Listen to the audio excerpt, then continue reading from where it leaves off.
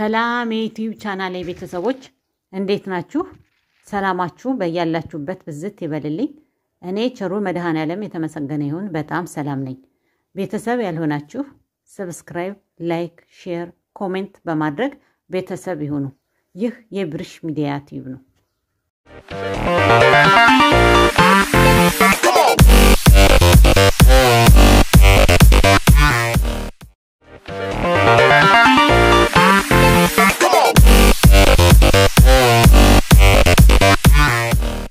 kale የተባለ የጎመን ዝርያ kale leaf በጣም ለሰውነታችን አስፈላጊና ለተለያዩ በሽታዎች መፍትሄ የሚሆን የአትክልት ዘር ነው።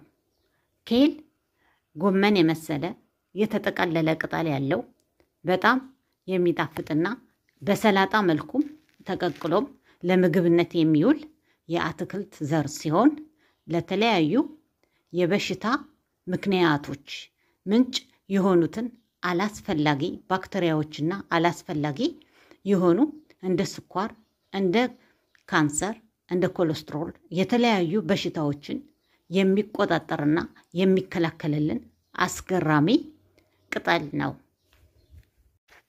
የኬል ሊቭን በተለያየ መልኩ በጁስ በሰላጣ አብስለንም like እንደ ጎመን እንደ normal ጎመን አብስለን በመመገብ ከ blood sugar ከኮሌስትሮል ከስኳር መጠን ያለፈ ልክ የውፍረት መጠናችንን ለመቀነስ digest ወይም ምግብ አልፈጭ ሲለን የምግብ መፈጨትን ውህደት የሚያፋጥንልን የአትክልት ዘር ሲሆን በጣም ለሰውነታችን ጥራትና ለፀጉራችን ጤንነት ለዓይናችን እይታ ዓይናችንን ከአንዳንድ እገዳዎች አላይልን ብሎ ሲያስቸግረን እንደዚሁ ጠዋት ስንነሳም የመቆርቆር ጸባይ ካለው ዓይናችን የሚያስወግድልን ዋነኛውና አንደኛው የቅጠል የአትክልት ዘር ነው። ኬል ሊቭ በመሰረቱ በውስጡ ብዙ የፕሮቲን አይነቶችንና ብዙ የ iron አይነቶችን የያዘ በመሆኑ ከነዚህም ውስጥ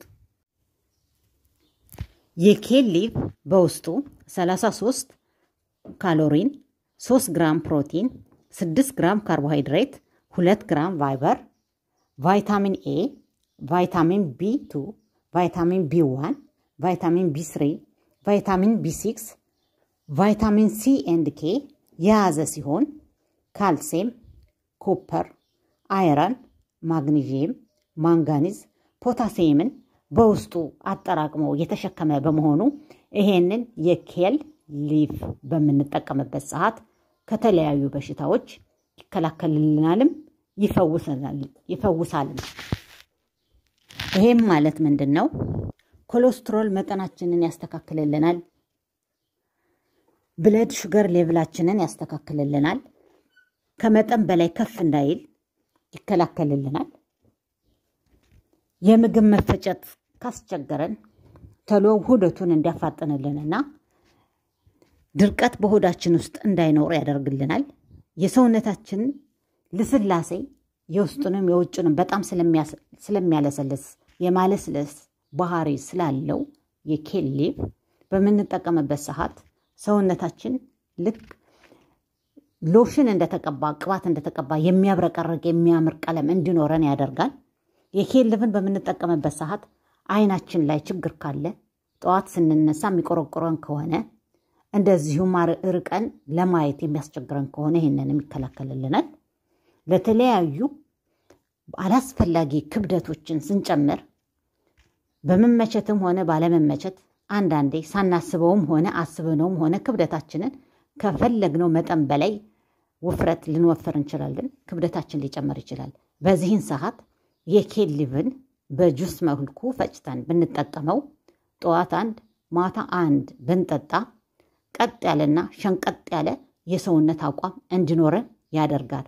የኬል ሊቭ በጣም ብዙ ለጤናችን የሚጠቅመው ትሩፋቶች እንዳሉት ሁሉ በሰላጣ መልኩም ቀቅለንም ከተለያዩ ከካሮት፣ ከሽንኩርት፣ ከድንች ጋር አደባልቀን ሰርተን ብንመገበውም ጁስ ፈጭተንም እንደ ጁስ ብንጠቀመውም ብዙ የጤና ጥቅሞችን እንደምናገኝ የተገለጸለት ነው።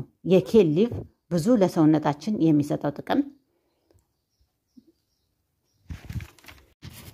የ kale leaf ማለት የተጠቀለለ like ጎመን የኛ የሀገራችን ጎመን የሚመስል ጠቅለል ጠቅለል ቅጠሉ ጠቅለል ጠቅለል ያለ ትንሽ ጠንከር ያለ ቅጠል ያለው በጣም green በጣም ጠቆር ያለ ቅጠል ያለው ማለት ነው።